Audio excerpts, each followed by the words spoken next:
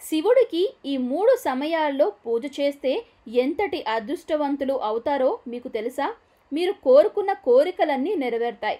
ఆ సమయాలు ఎప్పుడు అనుకుంటున్నారా? అయితే ఈ వీడియో ద్వారా తెలుసుకుందాం.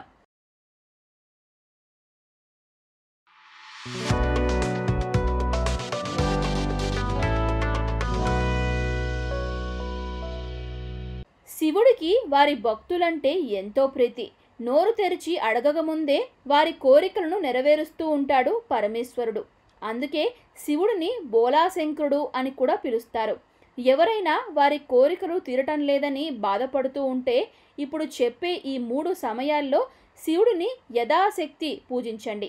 రోజులో వచ్చే ఈ మూడు సమయాలంటే శివుడికి ఎంతో ఇష్టం. సూర్యుడు ఒక దిశ నుండి మరో దిశకు మారడాన్ని సంధ్యా సమయం అంటారు. ఒక రోజులో సూర్యుడు మూడు దిశలు మారుతాడు.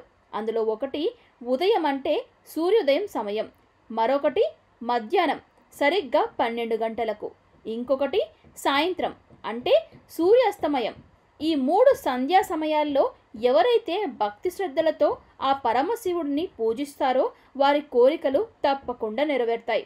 అంతేకాదు ఆర్థికంగా ఆరోగ్యపరంగా కూడా ఎటువంటి సమస్యలు వచ్చినా శివుడు మిమ్మల్ని ఎల్లప్పుడూ కాపాడతాడు. సూర్యుడు దిశ మారే సమయాల్లో శివుడు కైలాసం విడిచి నందితో కలిసి భూలోక విహారం చేస్తాడట. అందుకే శివుడికి సంధ్య నటుడ అనే పేరు కూడా ఉందని పురాణాలు చెబుతున్నాయి.